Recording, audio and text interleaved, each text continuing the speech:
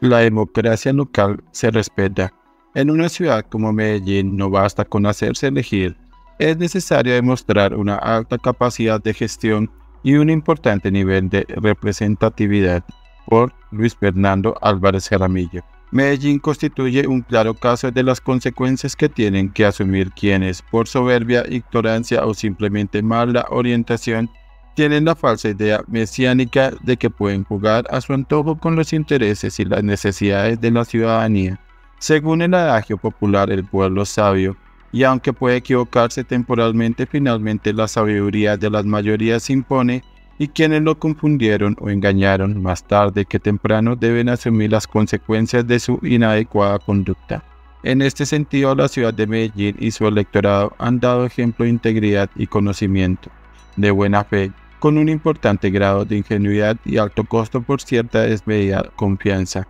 La ciudadanía eligió a un alcalde entendiendo que se trataba de un hombre independiente, capaz de aglutinar y continuar con un modelo de desarrollo ciudadano que venía estructurándose desde el tiempo atrás. Con esta creencia, recibió el apoyo de los diferentes sectores sociales, incluso por invitación del entonces gerente de empresas públicas y con su anuencia, se confirmó una junta directiva de lujo, digna de la primera empresa pública de los antioqueños.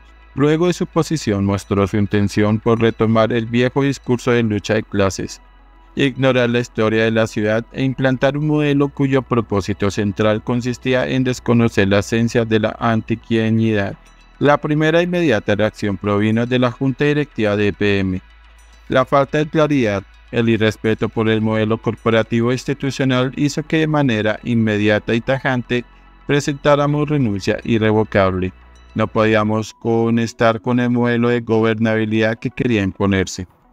En general, muy pronto la ciudadanía comenzó a percatarse del cúmulo de falsas expectativas creadas por una administración que se sintió por encima de la institucionalidad, del mandato ciudadano y posiblemente de la normatividad jurídica, como poco a poco se ha ido constatando. Con estos antecedentes se adelantó un fuerte movimiento ciudadano para revocar el mandato del alcalde, quien además fue suspendido por la Procuraduría por participar indebidamente en política, por exigencias formales no siempre claramente identificadas utilizando recursos jurídicos de toda índole, admitidos por una actuación desconcertante de la registraduría, finalmente no se llevó a cabo la revocatoria, pero sí quedó en claro que en una ciudad como Medellín no basta con hacerse elegir, es necesario demostrar una alta capacidad de gestión y un importante nivel de representatividad.